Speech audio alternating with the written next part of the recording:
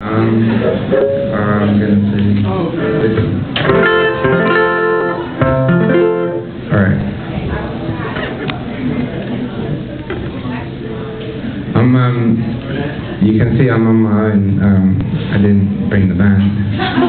Um, yeah.